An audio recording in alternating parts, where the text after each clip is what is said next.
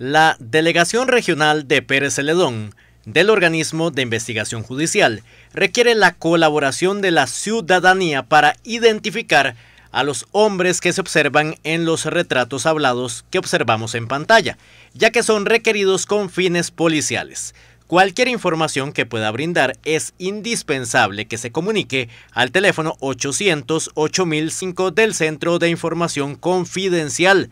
Recuerde que una persona es requerida por el OIJ por diversas situaciones, entre ellas para informaciones sobre alguna investigación o como testigos de un caso y no necesariamente como imputados.